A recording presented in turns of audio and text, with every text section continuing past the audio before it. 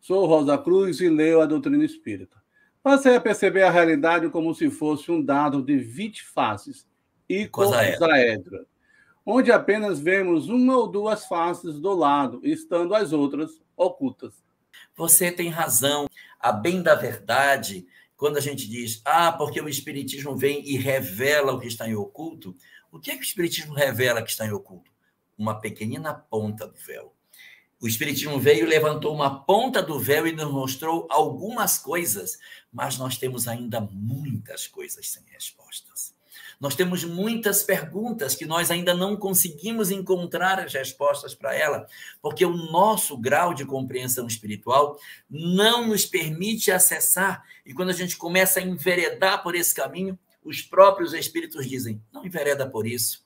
Não vais encontrar resposta, não vais conseguir procura te ocupar da tua vida. É só ler a pergunta número 14 de O Livro dos Espíritos e a resposta dada pelos Espíritos, que mostram para nós, efetivamente, toda a dinâmica daquilo que nós ainda não conseguimos perceber.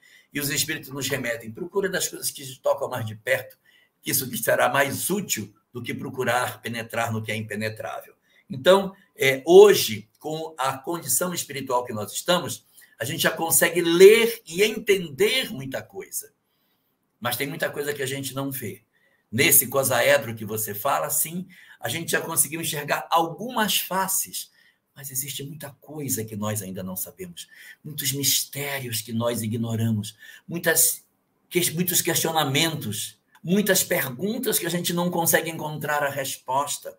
Mas quando a gente investiga, os espíritos dizem: cara, você ainda nem se reconciliou com seu irmão dentro de casa, você não conseguiu perdoar seus filhos nem sua esposa, você não vive bem com as pessoas, você guarda ódio e mágoa, então resolve isso primeiro. Isso é muito mais importante. Depois você vai investigar o universo, perguntar sobre as galáxias, sobre os outros mundos, a vida em outros planetas o que aconteceu no início de tudo, de onde nós viemos de fato, como que se deu a chegada da vida orgânica na Terra. São tantas as perguntas que nós não temos respostas, que se nós formos querer investigar por essa via, nós muito provavelmente nos perderemos, porque iremos investigar nos labirintos da loucura de tentar entender o que não conhecemos, e nós nos perderemos dentro disso terminando as nossas existências ainda egoístas, orgulhosos, é, ainda cheios de mágoa, vivendo de maneira horrível dentro do nosso lar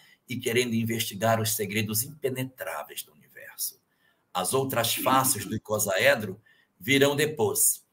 E aí, só para concluir essa minha resposta, existem alguns autores que falam que quando João, o evangelista, o último dos discípulos de Jesus, já estava bem velhinho e ele visitava as igrejas cristãs, as pessoas diziam: Olha, olha quem está conosco hoje, João, que conviveu com o mestre, chama ele para a tribuna, deixa ele pregar o evangelho hoje. Hoje ele vai arrebentar, porque a gente vai ouvir uma pregação de quem conviveu com Jesus. E João aceitava o convite e subia na tribuna. E ao chegar na tribuna, dizem os que assim escrevem que ele subia na tribuna e dizia: Meus filhinhos, amai-vos. E descia. Ficava todo mundo meio constrangido, chamavam no dia seguinte ele de novo, ele subia e repetia. E uma vez depois dele repetir muitas vezes essas três palavras, a pessoa que estava no comando do trabalho disse: o senhor, senhor conviveu com Jesus, o senhor viu tanta coisa aí, Toda vez que a gente lhe chama, o Senhor só diz isso: meus filhinhos, amai-vos. Isso não tem assim, um negócio assim para dizer para nós, porque a gente, puxa vida, espera tanto, o Senhor está aqui, conviveu com ele, o Senhor repete isso. Tem como o Senhor trazer uma coisa bacana, nova para a gente? Conta-se então que João colocou a mão no ombro do seu interlocutor e olhou nos olhos dele e disse: O irmão já ama? de verdade. Depois que o irmão amar de verdade, a gente passa para a lição número dois. Por enquanto, a gente vai trabalhar o amor. Depois as outras coisas vêm.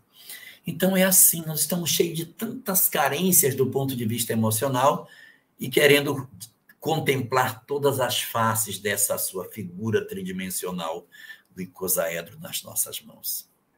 É uma grande tarefa para o amanhã.